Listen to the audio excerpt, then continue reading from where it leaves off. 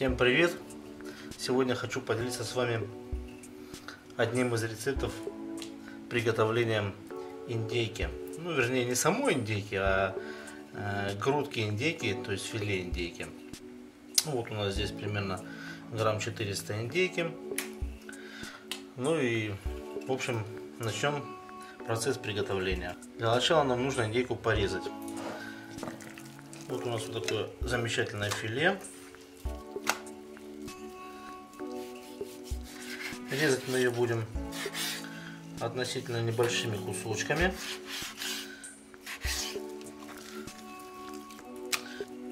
Вот такими кусочками будем резать.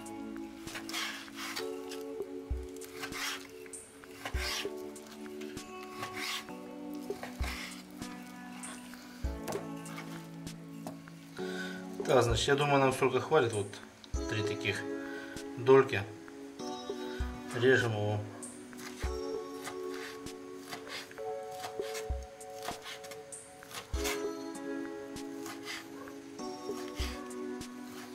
таким образом убираем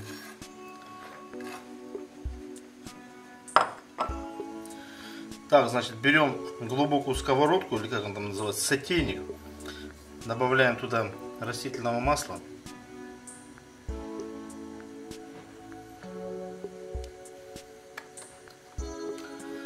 И выкладываем туда бекон чтобы он дал нам еще дополнительно жира. Пока вытапливается наш бекон, приготовим овощи.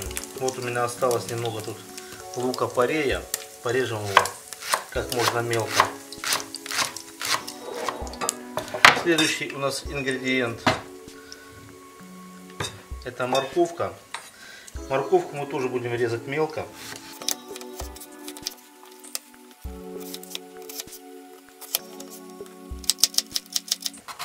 Вот такими кубиками режем морковку.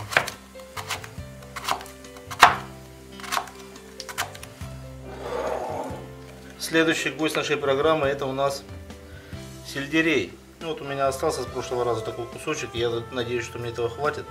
Тоже его меленько порежем сейчас. Вот такими вот пластинками. Сельдерей у нас готов.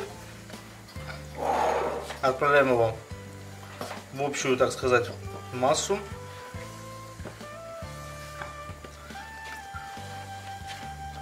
Ну и, наверное, нам нужно посмотреть, что там творится с нашим беконом. Вот, значит, сало у нас уже немножко вытопилось. Вот такие у нас кусочки.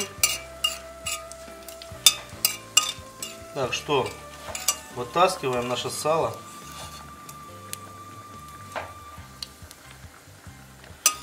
Так. Теперь туда отправляем нашу индейку.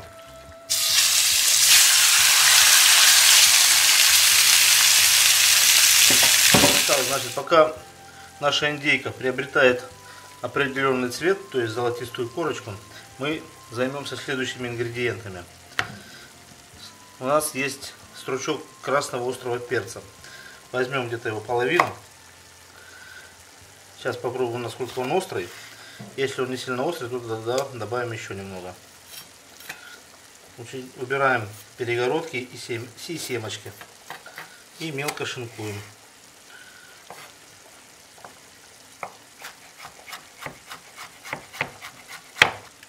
Так, перец наш готов.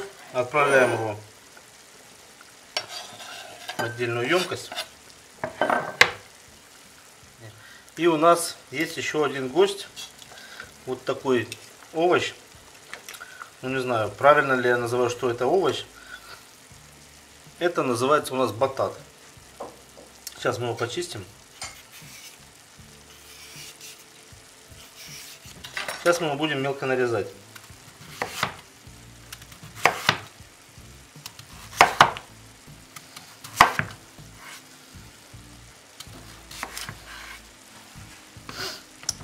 Нарезать мы его будем кубиками,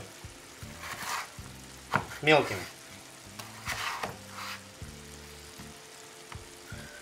Если кто не сможет найти батат, я предлагаю как альтернативу тыкву.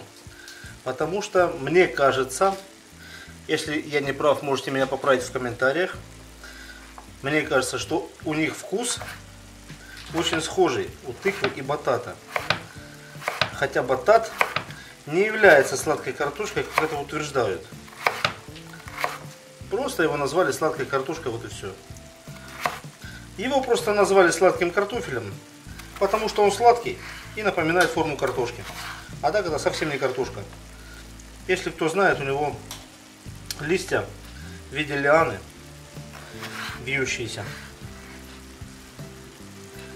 И к картошке никакого отношения не имеет, потому что это совсем другое семейство. Так, значит, у нас индейка взялась корочкой уже. Отправляем туда наш смесь наших овощей. Это лук, морковка и сельдерей.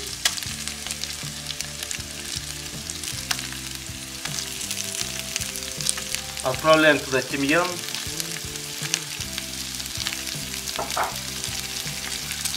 Все это перемешиваем.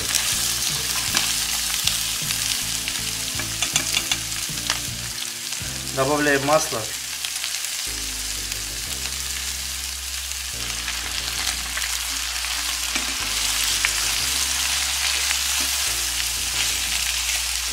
Так, отправляем туда чили перец. Так, припустили мы немного наши овощи. Отправляем туда наш батат. Перчим. Солим. И добавляем немного белого вина.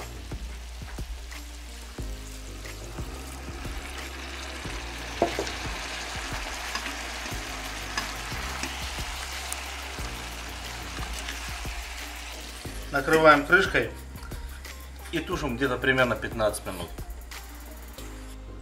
Грудка наша готова. Сейчас будем пробовать. Вот такое чудо. Сверху посыпаем петрушкой. Ну что, будем пробовать.